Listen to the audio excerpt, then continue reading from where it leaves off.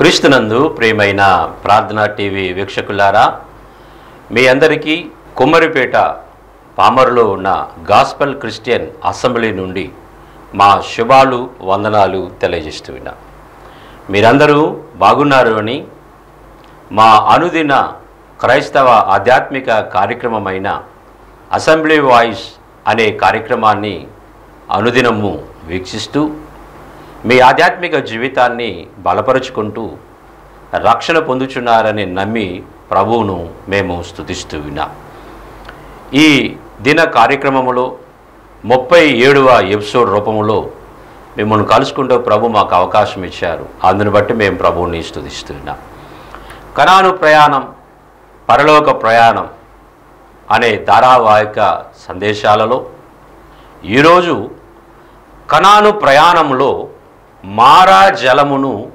మధురముగా మార్చిన చెట్టు గురించి మనము ధ్యానం చేయబోతున్నాం. కణాను ప్రయాణంలో మారా జలమును మధురముగా ఒక చెట్టు మార్చింది. ఆ దానిని గూర్చి మనం లేఖనాలు జ్ఞాపకం చేసుకుందాం. నిర్గమాకాండం పదిహేనవ అధ్యాయం ఇరవై రెండు నుంచి ఇరవై ఐదు వచనాలు చూచినట్లయితే మోసే ఎర్ర సముద్రము నుండి జనులను సాగచేయగా వారు షూరు అరణ్యంలోనికి వెళ్ళి దానిలో మూడు దినములు నడిచిరి.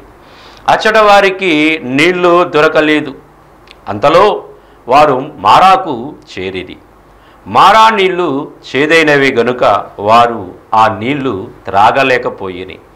అందువలన దానికి మారా అనే పేరు కలిగెను. మారా అనగా చేదు. ప్రజలు మేమేమి త్రాగుదమని మోషే మీద సనుగుకొనగా అతడు యహోవాకు మొర్రపెట్టాను అంతటా యహోవా అతనికి ఒక చెట్టును చూపాను. అది నీళ్ళలో వేసిన తర్వాత నీళ్ళు మధురము లాయను అని మనం చూస్తూ ఉన్నాం. ఈ వచ్చిన భాగంలో ఇస్రాయేలీలు ఐగుప్తు నుండి బయటకు వస్తూ అడ్డుగా వచ్చిన ఎర్ర సముద్రమును దాటిన తరువాత నాయకుడైన మోషే ద్వారా ఇస్రాయేలీలు ఎర్ర సముద్రము నుండి షూరు అరణ్యంలోనికి బయలుదేరి వెళ్తున్నారు. ఆ షూరు అరణ్యంలో మూడు దినాలు నడిచారు. అచ్చట వారికి నీళ్ళు దొరకలేదు. ఈ రోజుల్లో కూడా భయంకరమైన ఎండలు వేస్తూ ఉన్నాయి. నీళ్ళు దొరకకపోతే చచ్చిపోతామేమో అనే భయం మనకు కూడా కలుగుతుంది.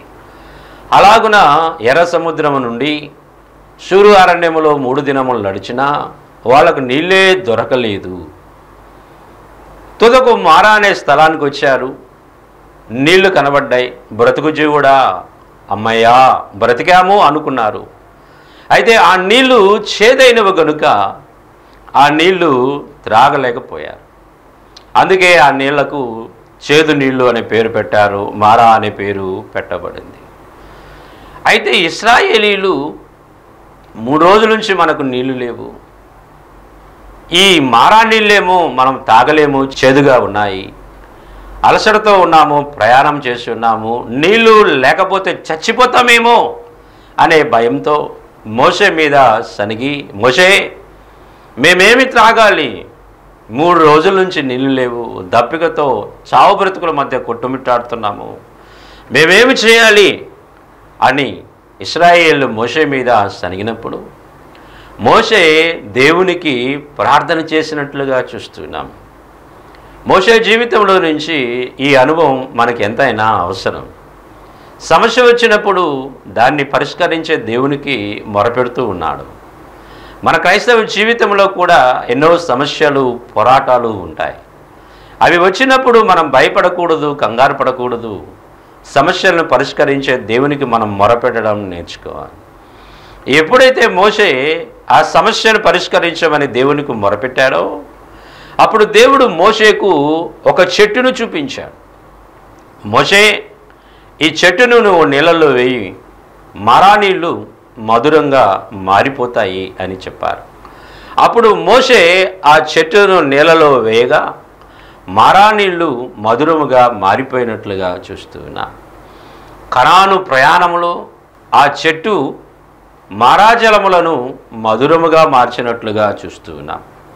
ఒకవేళ ఆ చెట్టే ఆ నీళ్ళల్లో వేయబడకపోతే ఆ మారా నీళ్ళు మధురంగా మారేవి కాదు. ఇస్రాయేలీలు దప్పిక చేత అరణ్య యాత్రలో చచ్చిపోయేవారు. అయితే ఆ చెట్టు ఇస్రాయేలీల దప్పికను తీర్చి చేదు నీరుని మంచినీరుగా మార్చినట్లుగా చూస్తూ ఉన్నాం. ఆ చెట్టు ఎవరు అని మనం ఆలోచన చేస్తే అది ప్రభువైన యేసుక్రీస్తు వారే అని మనము లేఖనాలలో నుండి చూడగలం. కొలసీలకు రాసిన పత్రిక రెండవ అధ్యాయం పదిహేడవ వచనంలో ఇవి రాబోవు వాటి ఛాయయే గాని నిజస్వరూపము క్రీస్తులో ఉన్నది అని వ్రాయబడింది. ఆ చెట్టు మహారాజలములను మధురంగా మార్చింది. ఆ చెట్టు ఇస్రాయేలీల్ని మరణములో నుండి జీవించేలా చేసింది. ఆ చెట్టు ఎవరో కాదు అది ప్రభు అయిన యేసుక్రీస్తు వారే. మారా జలములను మధురముగా మార్చగలడు. మారా అనుభవములను మధురమైన అనుభవములుగా మార్చగలడు.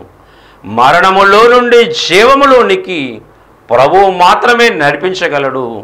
మారా జలములను జీవజలములుగా మార్చగలిగిన వాడు ఆయనే. ఆ చెట్టు ఇస్రాయేలీల దప్పిక తీర్చింది. ఆ చెట్టు ఇస్రాయేలీల్ని బ్రతికించినట్లుగా చూస్తున్నాం ఈనాడు ఆ చెట్టుకు సదృశ్యమైన క్రీస్తు యొద్దకు మీరు కూడా వస్తే మీ జీవితాలను ఆయన మధురంగా మారుస్తాడు. జీవజలములను అనుగ్రహిస్తాడు.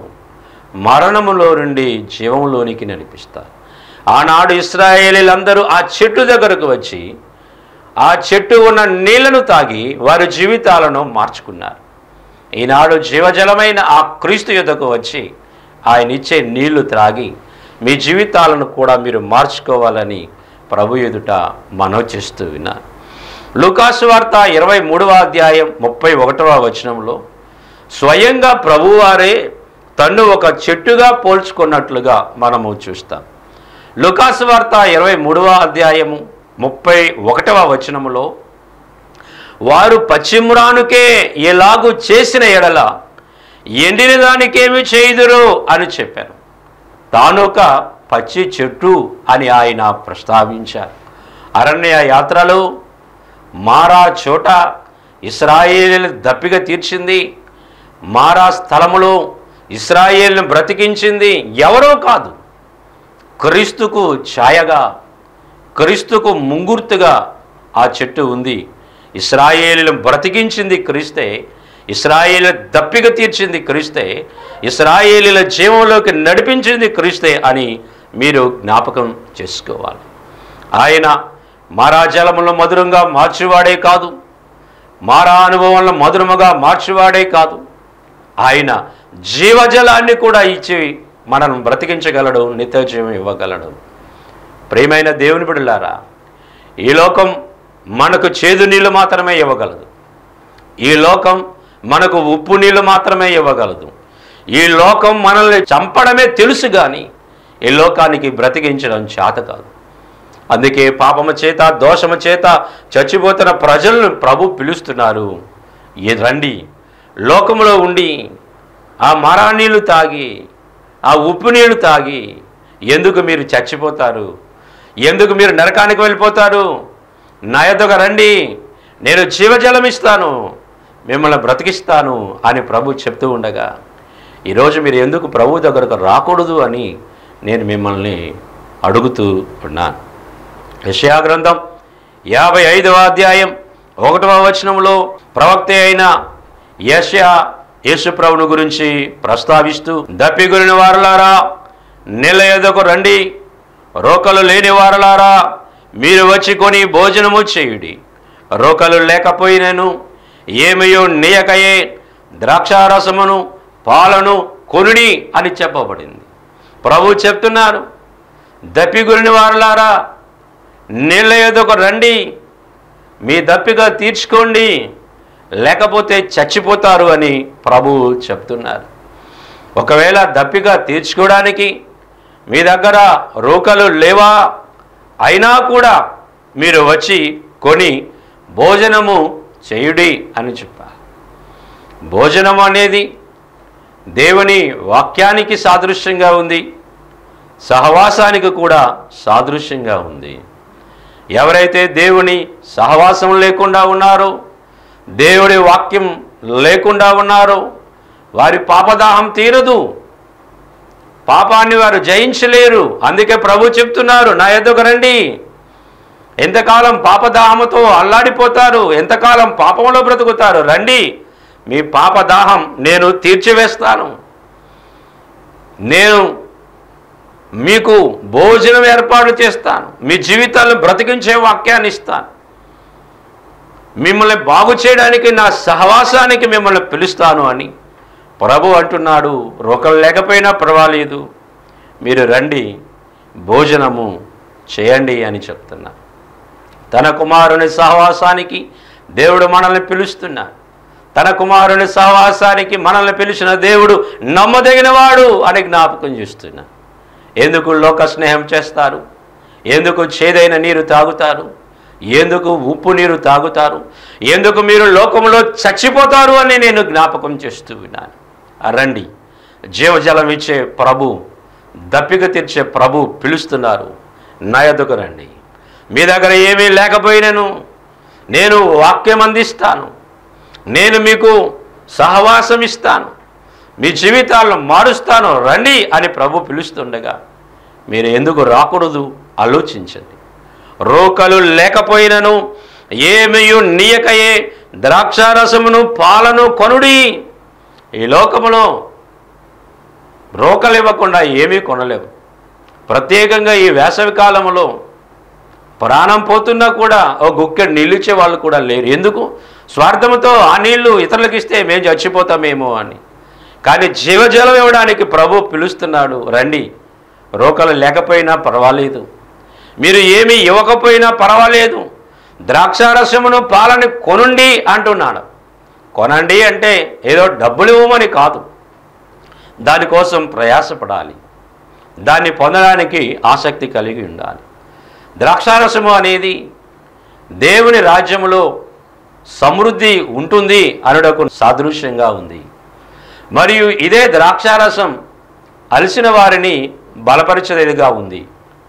ఇదే ద్రాక్షారసం కణానులో ప్రభు అద్భుతం చేసి మానవ జీవితాలను మార్చేవాడుగా ఉన్నాడు అనుటకు సాదృశ్యంగా ఉంది. ఇదే ద్రాక్షారసం ఆయన రక్తానికి కూడా సాదృశ్యంగా ఉంది.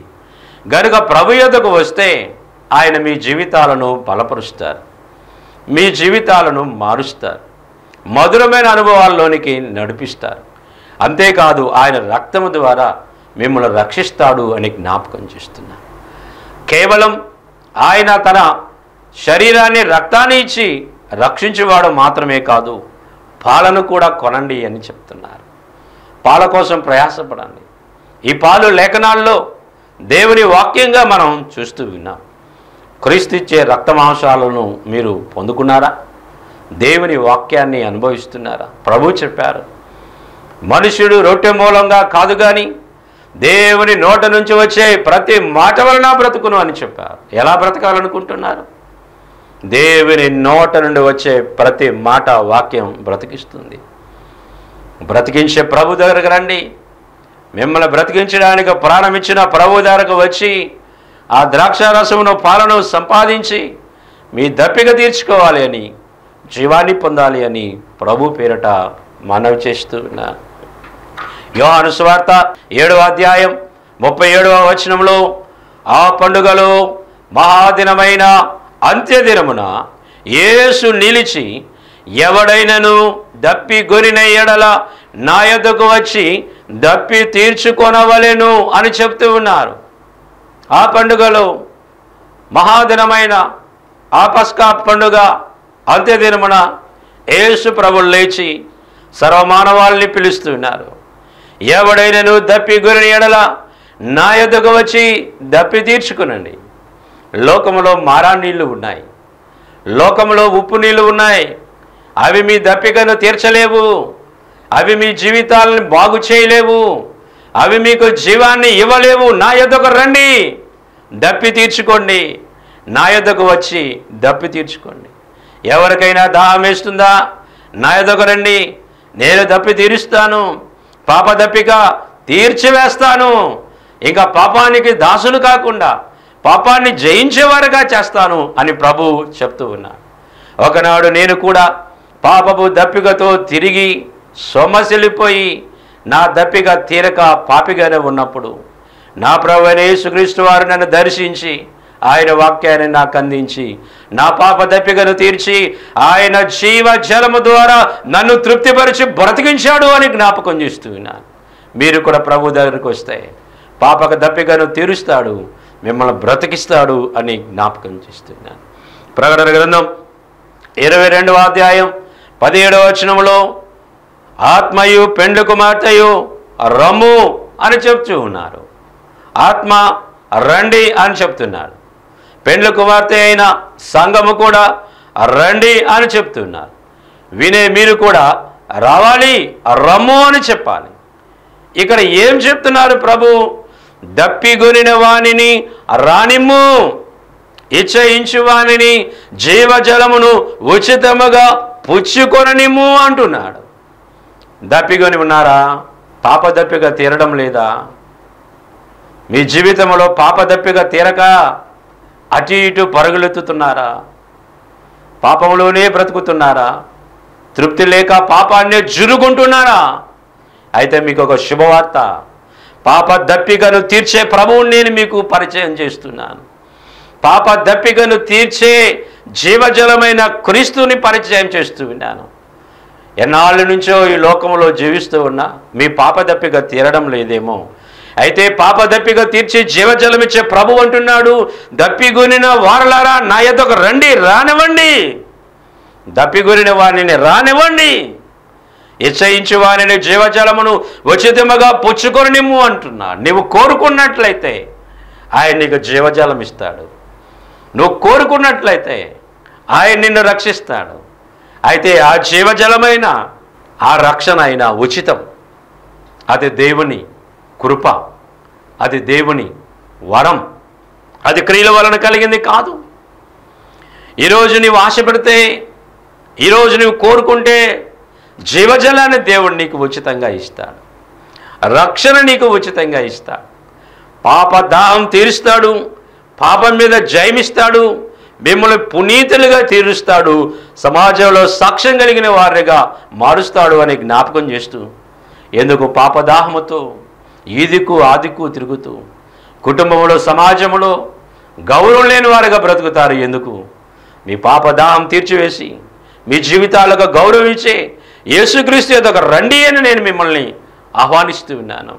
ఆయన ఉచితంగా మీకు జీవజలం ఇస్తాడు మీరు ఆశిస్తే చాలు మీరు కోరుకుంటే చాలు. అది కూడా ఉచితం జీవజలం ఉచితం రక్షణ ఉచితం.